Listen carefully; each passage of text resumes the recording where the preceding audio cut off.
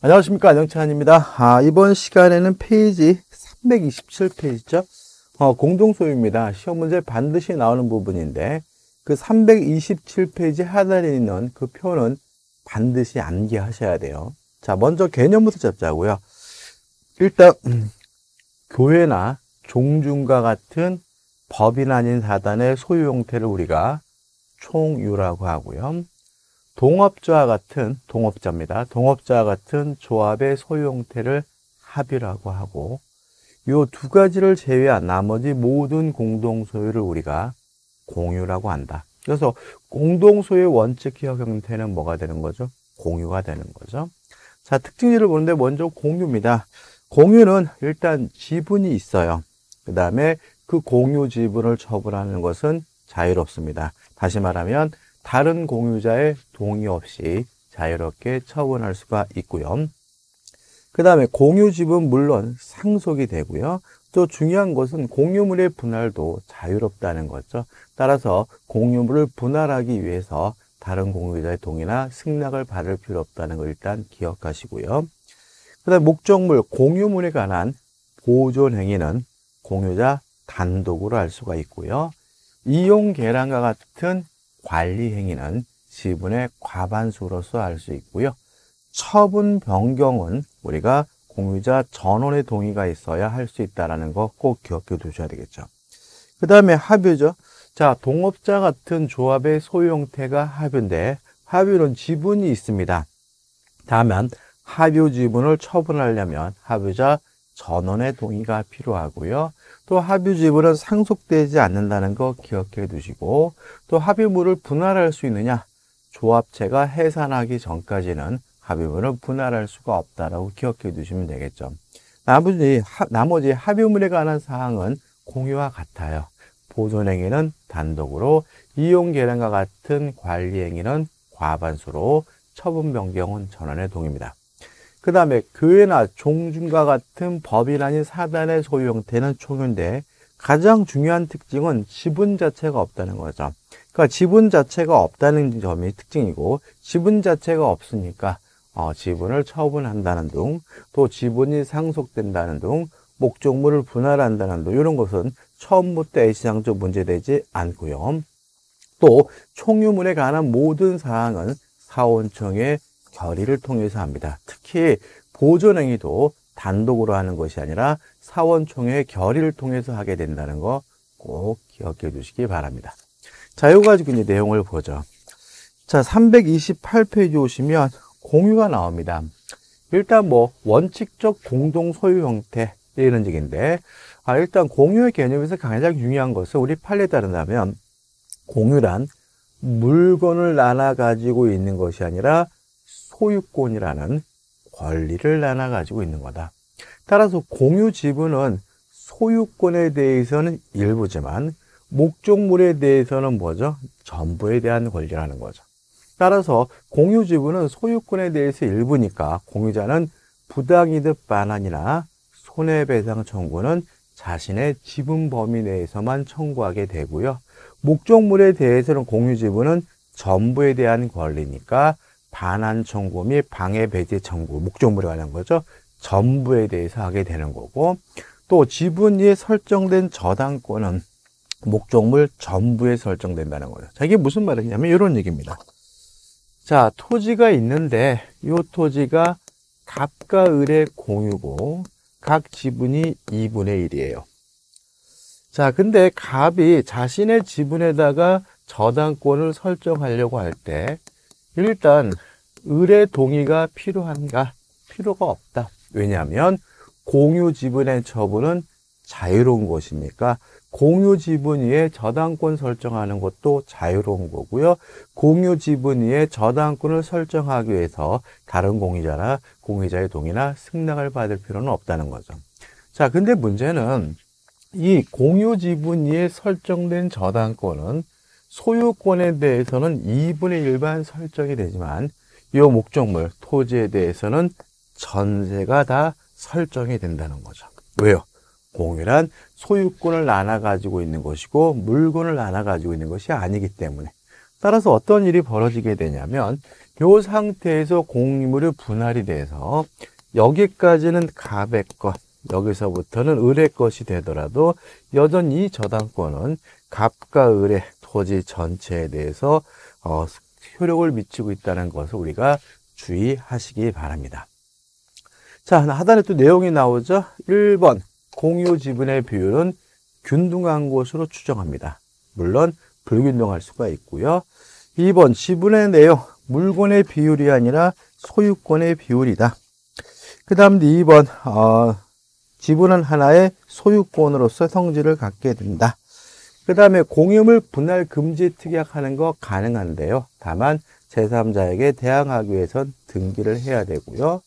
디귿번 공유물의 사용 수익인데 공유물은 목적물에 대해서는 전부에 대한 권리니까 공유, 공유물에 대해서는 지분 범위 내에서 전부에 대해서 사용 수익하게 됨을 주의하시기 바라고 3번 공유 지분의 탄력성이란 말이 나오죠. 자, 이런 얘기입니다.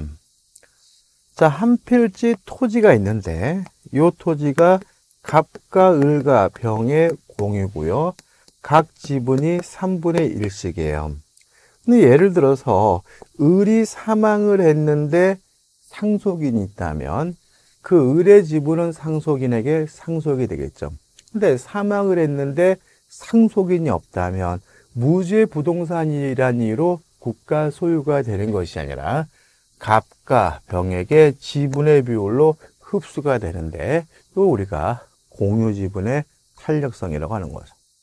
또 하나 조심할 것은 을이 자시 공유 지분을 포기하게 되면 무주의 부동산이라는 이유로 국가 소유가 되는 것이 아니라 갑과 병에게 지분의 비율로 흡수가 되는데 이걸 우리가 공유 지분의 탄력성이라고 해요. 근데 유의하실 것은 뭐냐면 을이 공유 지분을 포기했다는 이유로 갑과 병에게 그 지분의 비율로 공유 지분이 흡수되기 위해서는 뭐가 필요하냐면 등기가 필요하다는 거 꼭 기억해 두시기 바랍니다. 자, 일단 이런 얘기죠. 법률 행위에 의한 물권 변동은 등기를 해야 되고요. 법률 행위가 아닌 다른 사유로 물권이 변동될 때는 등기할 필요가 없습니다. 자, 우리 판례에 따른다면 공유 지분을 포기하는 것은 상대방 있는 단독행위, 법률행위라는 얘기죠. 따라서 포기했다는 이유로 을이 가지고 있던 공유 지분이 갑과 병에게 흡수되기 위해서는 포기, 단독행위, 법률행위에 의한 물권 변동이니까 뭘 해야 돼요? 등기를 해야 된다는 것이 우리 판례 입장이라는 것까지 꼭 기억해 두시기 바랍니다. 그 다음 우측에 보시면 지분권에 기한 청구권 해 가지고 제가 사례를 집어넣어 놨거든요. 자, 첫 번째 사례를 한번 생각해 보자고요. 자, 요 사례죠. 자, 한 필지 토지가 있는데 갑과 을이 각 지분이 2분의 1이에요. 자, 요랬을 때 첫 번째 제3자인 병이 무단으로 점유 사용 수익하고 있을 때 갑 또는 을은 병에게 단독으로 반환을 청구하는 것이 가능합니다. 왜냐하면 제3자 병이 점유하고 있을 때 반환을 청구하는 것은 방해 제거를 청구하는 것은 보존행위이기 때문에 단독으로 하게 되는 거죠.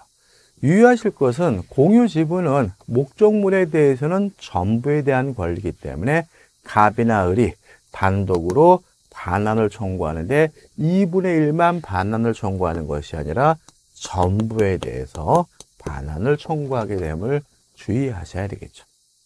그 다음에 갑이나 을이 특히 을이 병에게 부당이득 반환을 청구하고 싶어요. 또 아니면 불법 행위를 원인으로 손해배상을 청구하고 싶어요. 요거는 전부에 대해서 하는 것이 아니라 지분 범위 내에서 2분의 1 범위 내에서 청구하게 됨을 주의하시기 바랍니다. 자, 여기서 뭐죠? 제3자가 불법으로 점유하고 있을 때 얘긴 거예요. 자, 근데 최근에 판례 변경이 있었는데 중요하겠죠? 자, 이 갑과 을이 공유하는 이 토지에 대해서 공유자 중 한 사람인 갑이 전부에 대해서 점유하고 사용 수익하고 있을 때 갑에게 반환을 청구할 수 있느냐 요 문제가 문제가 됐거든요. 과거의 판례는 반환 청구할 수 있다라고 판시하고 있었고 반환 청구할 수 있다는 내용의 어, 시험 문제가 많이 나왔거든요. 근데 최근 판례 변경을 통해서 이때 을은 갑에게 반환을 청구할 수 없다라고 판시하고 있습니다. 여기서 을의 특징이 뭐냐면 지분이 2분의 1이죠. 어, 과반수 미달의 지분권자죠. 다시 말하면 공유 지분이 과반수를 넘지 않은 과반수 미달의 지분권자를 우리가 소수 지분권자라고 하고요. 이러한 과반수 미달의 지분권자는 다른 공유자가 점유하고 있을 때에는 자신의 공유 지분을 이유로 반환을 청구할 수 없다는 것이 우리 판례 입장임을 꼭 기억해 두시기 바랍니다. 다만 갑에 대해서 부당이득 반환은 물론 청구할 수가 있는데 이거는 뭐죠? 2분의 1 지분 범위 내에서 청구하게 됨을 주의하시기 바랍니다. 그 다음 두 번째 사례입니다. 자, 갑과 을이 공유하고 있는 토지가 갑의 지분은 3분의 2, 을의 지분은 3분의 1이에요. 다시 말하면 이 갑이 과반수를 초과하고 있는 거죠. 이때 갑이 만약에 이 토지를 점유하고 사용 수익하고 있다면 물론 을은 갑에게 반환을 청구할 수가 없습니다. 어, 이유는 뭐냐면 목적물을 점유하고 사용 수익하는 것은 공유물에 관한 이용행위, 관리행위로서 공유 지분의 과반수로서 결정한다는 거죠.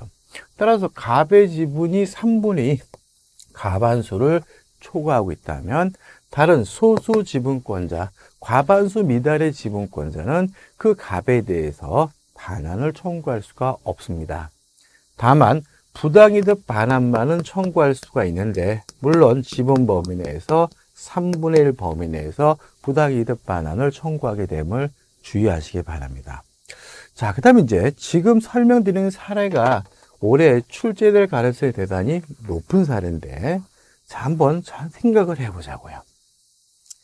갑과 을이 공유하고 있고 갑의 지분은 3분의 2, 을의 지분은 3분의 1입니다. 제3자 병이 점유하고 사용 수익하고 있어요. 만약에 병의 점유가 불법한 점유, 위법한 점유라면 을은 병에게 전부에 대한 반환을 청구하는 것이 가능하고요. 또 3분의 1 범위 내에서 부당이득 반환도 청구할 수가 있는 거죠. 자, 근데 문제는 만약에 병이 갑과 임대차 계약을 통해서 임차인으로서 점유하고 있다면 갑으로부터 사용 수익 허락을 받아서 점유하고 있다면 이때 을은병에게 반환을 청구할 수가 없습니다. 왜냐하면 제3자에게 임대하고 사용 수익하게 하는 행위는 이용행위로서 관리 행위로서 지분의 과반수로서 결정하면 되거든요. 근데 갑의 지분이 3분의 2, 갑의 지분이 3분의 2, 과반수를 초과하고 있잖아요. 따라서 갑의 병에 대한 단독으로 한 임대행위는 적법하고 정당한 거죠. 따라서 병은 정당한 점유자, 정당한 임차인이기 때문에 을은 병에게 반환을 청구할 수 없고요. 특히 병이 적법한 점유자, 적법한 임차인이라면 병이 누리고 있는 이득도 부당이득이라 할 수가 없으니까 을은 병에게 부당이득 반환도 청구할 수 없다는 것이 우리 판례 입장인 거죠. 그러면 어쩌란 말이냐? 을은 요 갑에 대해서 자신의 지분 범위 내에서 부당이득 반환을 청구할 수 있을 뿐이라는 것이 우리 판례 입장임을 주의하시기 바라고 올해 이 부분에서 시험 문제가 출제된다면 요 사례가 출제될 것으로 예상이 되기 때문에 꼭 확실하게 기억해 두시기 바랍니다. 자, 교재 밑에 내용은 저 서술되어 있는 거니까 한번 좀 읽어보시기 바라고요. 330페이지 오시면 공유관계의 대외적 조장, 다시 말하면 공유 관계임을 대외적으로 주장할 때는 함께 해야 된다. 이 정도만 기억하시면 되고 그 다음에 공유의 마지막으로서 공유물의 분할이죠. 일단 공유물의 분할은 자유롭습니다. 따라서 다른 공유자로부터 동의나 승낙을 받을 필요가 없죠. 다만 당사자 간의 특약으로 불분할 특약을 하는 것이 가능한데 그 불분할 특약은 아무리 길어도 5년을 초과할 수가 없고요. 또 불분할 특약을 가지고 제3자에게 대항하려면 등기가 필요하다는 거 꼭 기억해 두셔야 되겠죠. 자, 그 다음에 여기서 이제 우리가 신경 쓸 것은 뭐냐면 공유물을 분할하기 위해서 다른 공유자로부터 동의나 승낙을 받을 필요가 없으니까 공유물의 분할은 승낙을 받지 않고 일방적으로 하는 것이니까 공유물 분할 청구권의 법적 성질은 형성권이라는 거죠. 따라서 공유물 분할하자 그러면 다른 공유자는 거부할 수 없습니다. 반드시 분할을 해줘야 되는 거죠. 다만 어떻게 분할할 것인지 그 분할 방법에 대해서는 협의가 필요한데 아, 당사자 전원의 협의, 동의가 이루어져서 분할이 이루어졌다면 이거 우리가 협의 분할이라고 해요. 협의 분할은 세 가지가 있습니다. 진짜 물건을 잘라 갖는 것은 현물 분할. 제3자에게 공유물을 처분하고 돈으로 나눠 갖는 것은 대금 분할. 공유자 중 한 사람이 소유권을 취득하고 다른 사람에게 돈으로 주는 것을 우리가 가격 배상에 의한 분할이라고 하거든요. 근데 여기서 생각해 볼 것은 현물 분할의 법적 성질은 교환입니다. 또 대금 분할이나 가격 배상에 의한 분할은 법적 성질이 매매거든요. 그럼 협의 분할은 교환 아니면 매매죠. 따라서 공유자 간의 담보 책임이 발생하고요. 교환 아니면 매매라는 말은 계약이라는 얘기죠. 법률행에 의한 물건, 물, 아, 물건 변동이라는 거죠. 따라서 협의 분할이 됐다는 이유로 물건이 변동되려면 등기를 해야 된다는 거 꼭 기억해 두셔야 되겠죠. 그 다음에 협의가 이루어지지 않았어요. 그러면 재판상 분할을 하게 되는데, 자, 공유물 분할 청구권이 형성권이니까, 이 재판상 분할은 대표적인 형성 판결입니다. 따라서 재판상 분할에 의한 물권 변동은 형성 판결이므로 등기하지 않아도 물권이 변동이 돼요. 근데 조심할 것은 뭐냐면 재판상 분할하는 과정에서 재판 중에서 당사자 간의 협의가 성립됐다면 합의가 성립됐다면 이건 뭐죠? 다시 협의 분할 법률행위에 의한 물권 변동이니까 등기를 해야죠. 다시 말씀드릴게요. 자, 공유물 분할 청구에 의해서 재판상 분할에 관한 판결이 이루어졌다면 이 판결은 형성 판결이니까 등기하지 않아도 물권이 변동된다. 근데 만약에 재판 과정에서 분할 방법에 대해서 협의가 이루어졌다면 이건 뭐죠? 협의에 의한 분할, 어, 법률행위에 의한 분할이니까 그때는 등기를 해야 된다는 거 잊지 마시기 바랍니다. 자, 이제 마지막으로 이제 구분 소유적 공유죠. 자, 구분 소유적 공유라는 말은 아, 이런 얘기입니다. 그러니까 대, 우리가 상호 명의 신탁이라는 말도 쓰고요. 어, 정확한 말은 구분 소유적 공유인데 이런 얘기죠. 한 필지 토지를 갑과 을이 따로따로 분리해서 소유하고 있으면서 구분해서 소유하고 있으면서 등기는 갑과 을의 공유로 하고 있다면 이거 우리가 구분 소유적 공유라고 하고요. 결론은 갑과 을 대내적으로는 분리된 땅입니다. 별개 땅인 거죠. 이에 반해서 대외적으로는 공입니다. 그래서 등장이율만 조심하시면 돼요. 만약에 갑과 을 두 사람이 등장하고 있다면 지들끼리는 둘끼리는 분리된 땅이니까 별개의 땅이라고 생각하시고 접근하시면 되는 거고요. 병이나 정이나 제3자가 등장한다면 대외적으로 뭐죠? 공유니까 공유라고 생각하시 접근하시면 된다는 거 잊지 마시기 바랍니다. 자, 여기까지 해서 소유권이 끝났고요. 자, 우측에 보시면 챕터 4 제목이 잘못됐죠? 토지 이동이, 이동이 아니라 용익 물권이죠. 용의 물권으로 편집 과정에서 뭔가 이상이 들어갔는데 물권이라 수정하시기 바라고 지상권입니다. 자, 지상권에 대해서도 한 문제가 출제가 되고요. 또 어려워하시기 때문에 일단 요 핵심 강의 노트 해 가지고 그림을 보자고요. 자, 일단 지상권은 뭐냐? 타인의 토지 사용권이다. 목적에는 제한이 있죠. 그래서 건물, 기타, 공작물, 수목을 소유하기 위하여 남의 땅을 사용할 수 있는 권리를 우리가 지상권이라는 거죠. 여기서 잊지 말 것은 어, 지상권은 토지 사용권이죠. 토지에 대한 권리라는 거예요. 다시 말하면 토지에 대한 독립된 용의물권이라는 점이죠. 물론 물권이기 때문에 제3자에게 대항할 수 있는 대항력이 있고요. 또 방금 말씀드린 것처럼 건물 소유권과 분리된 토지에 대한 독립된 소유권이니까 독립된 사용권이니까 부정성, 수반성이 없는 거죠.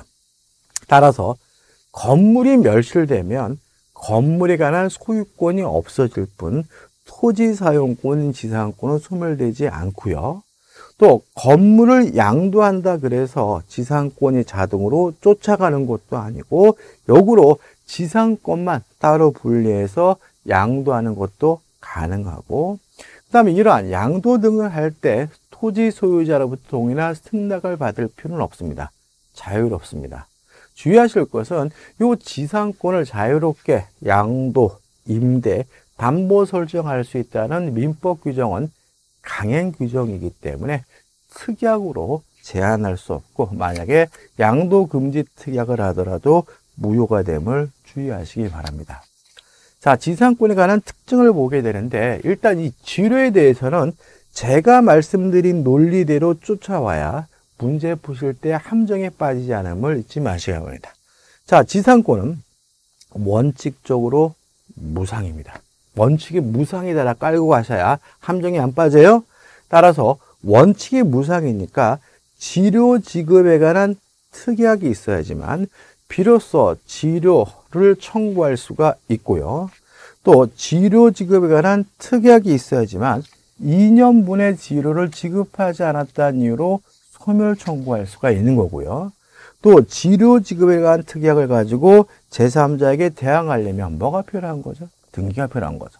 다시 말하면 치료 지급에 관한 특약이 있다는 이유로 제3자에게 대항할 수 있다는 말은 지상권은 원칙적으로 뭐란 얘기죠? 무상이라는 거죠. 그래서 원칙이 무상이니까 치료 지급에 관한 특기를 가지고 제3자에게 대항하려면 등기를 해야 합니다. 꼭 기억해 두시고 원칙이 무상이에요. 그 다음에 2년분의 치료를 지급하지 않으면 소멸 청구하는 것이 가능한데 두 가지를 조심하십시오. 2년 간이 아니라 2년분, 2년치다. 따라서, 따라서 조금씩 조금씩 10년 동안 안낸 지로를 조금 조금씩 모아보니까 2년치가 되면 토지 소유자는 지상권자에게 소멸 청구하는 것이 가능함을 주의하시기 바라고요. 또 내가 소유하고 있는 기간 동안 2년치에 된다.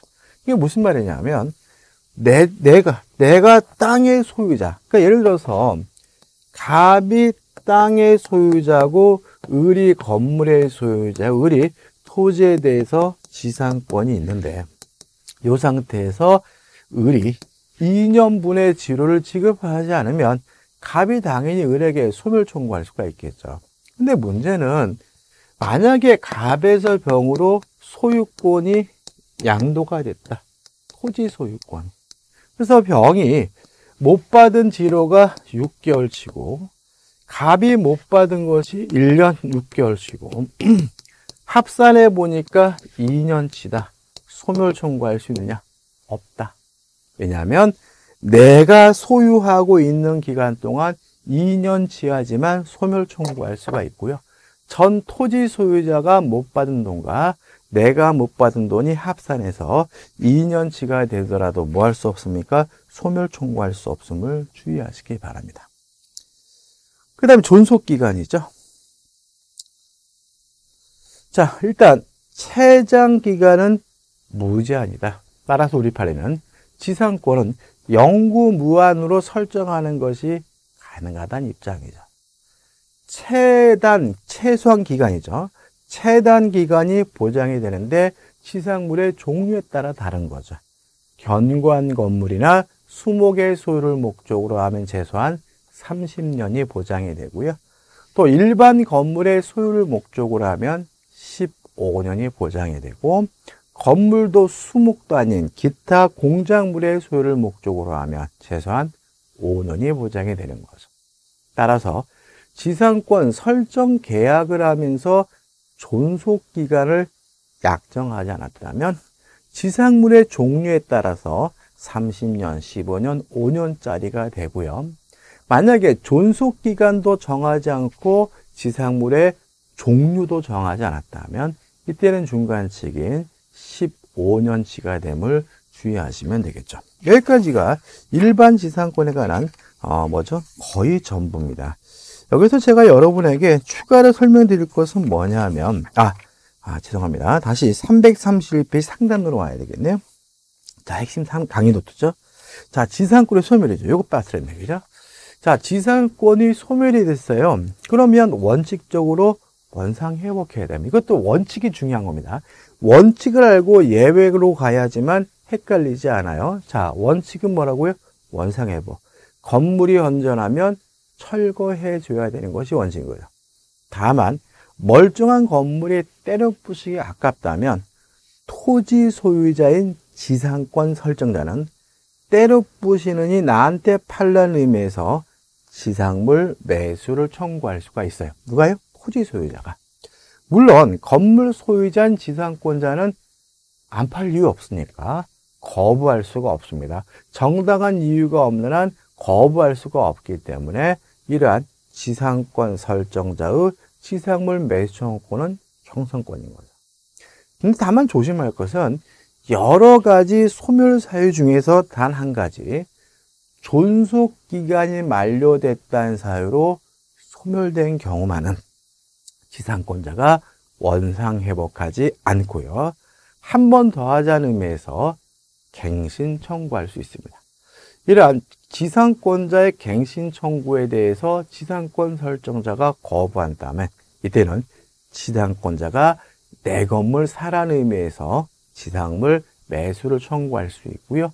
이러한 지상물 매수 청구 형성권이기 때문에 지상권 설정자가 거부하지 못해요. 그러니까 원칙 예고 기억하시죠? 다시 말하면 지상권자가 내 건물 사라는 의미에서 지상물 매수를 청구하는 것은 원칙이 아니라 예외이기 때문에 특별한 요건이 필요한 거예요. 첫째, 존속 기간의 만료로 소멸돼야 돼. 다른 사유로 소멸하게 되면 원상 복구해야 됩니다. 두 번째, 갱신 청구했다가 거부당해야 됩니다. 따라서 존속 기간의 만료로 소멸됐다 하더라도 갱신 청구 없이 바로 지상권자는 지상물 매수로 청구할 수 없음을 잊지 마시기 바라고요. 이 정도 정리하시게 되면 일반 지상권은 다 아, 깨뜨리게 됨을 유의하시기 바라고 이런 내용이 하단에 이제 어, 문자로 서술되어 있으니까 꼼꼼하게 한번 꼭 읽어보시기 바라고요. 자, 좀 쉬었다가요. 어, 335페이지에 특수지상권으로 들어가도록 하겠습니다.